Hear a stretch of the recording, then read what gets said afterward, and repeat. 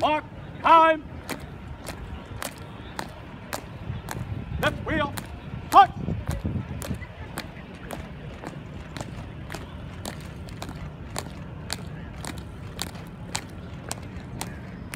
Mallard, halt. Reset.